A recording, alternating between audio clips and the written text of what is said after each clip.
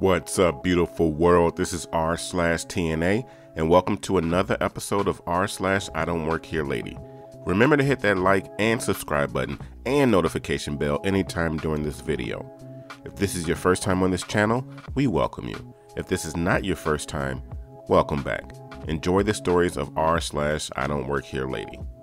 Our first story is Grocery store Karen needs that cart wiped down now.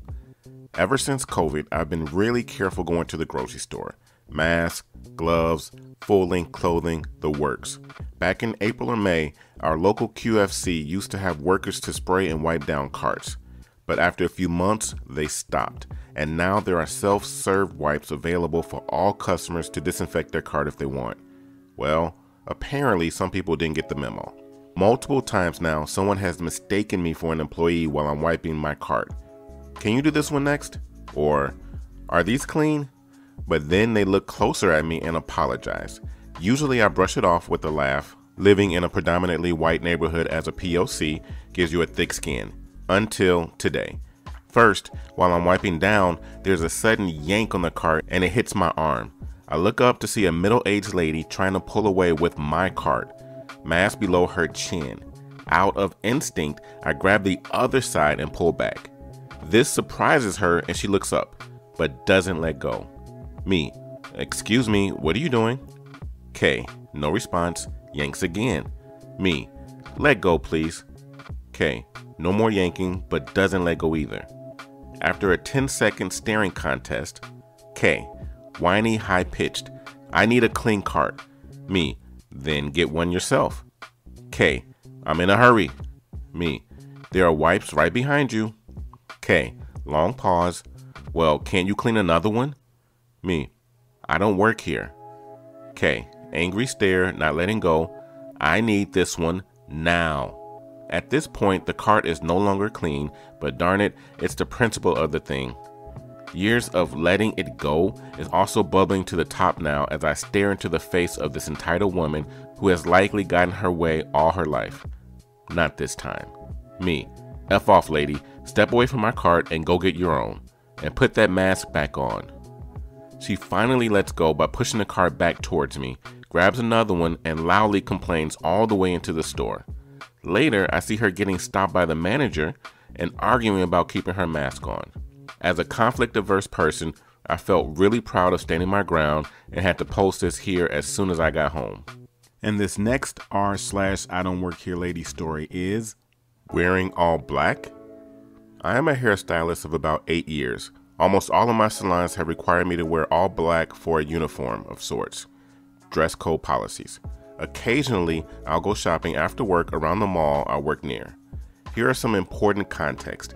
I used to work at a major retail chain. If any of you know, certain things just stay with you when you leave a retail job. One of which, I absolutely cannot see somebody just leave a clothes display a wreck. I have an extreme impulse to just refold whatever it was.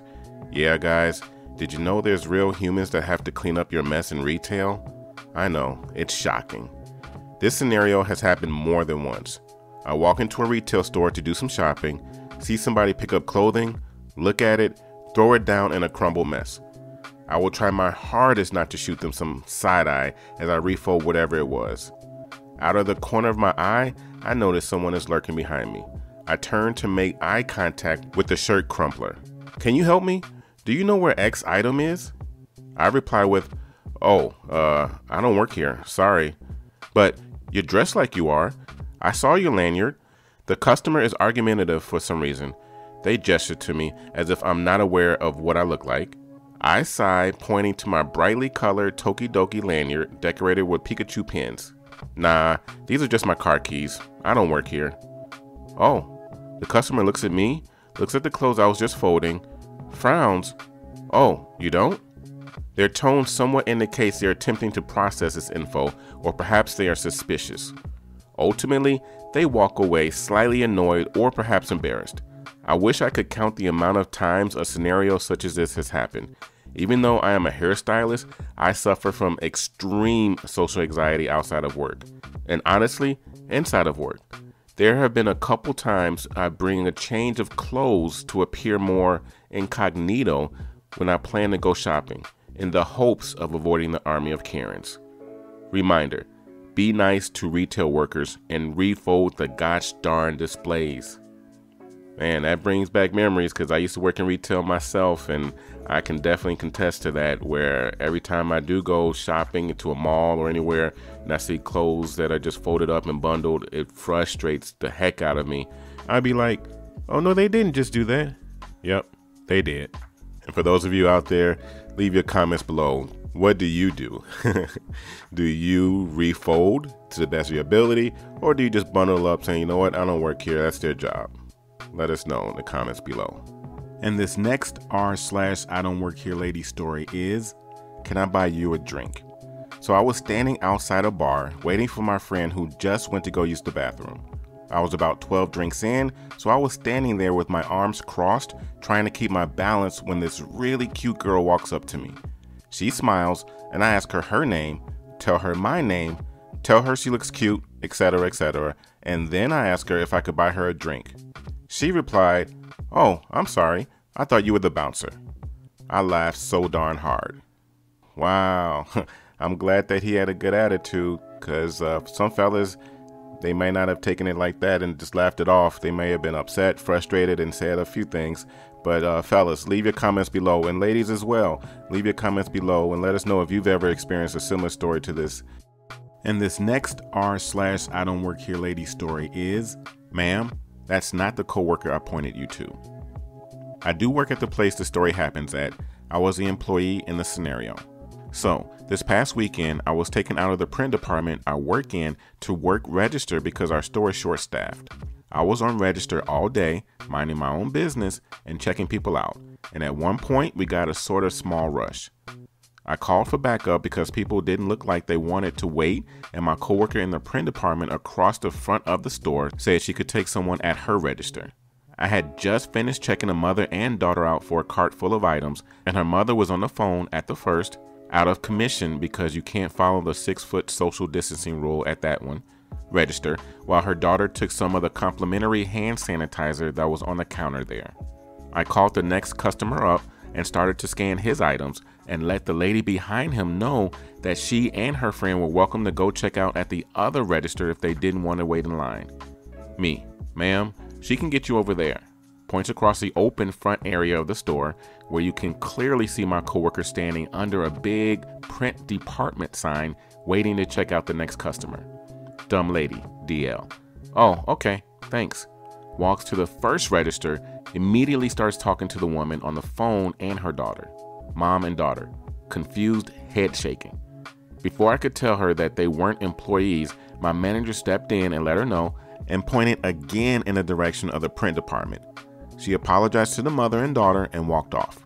A few seconds later, I heard the loud, awkward laugh of someone who embarrassed himself, and I looked up to see that instead of walking to the copy and print department or paying attention to the fact that everyone who works at my store wears the same outfit, she started trying to reach over the half wall that stands between our cart return area and our self serve printers so she could make the old man who was sending a fax on the self serve machine ring her out. I assume my coworker walked over to take her to the print department register, but I honestly don't know.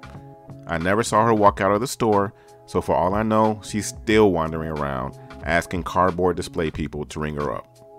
And this next r slash I don't work here lady story is me. I don't work here. I need to find my dad.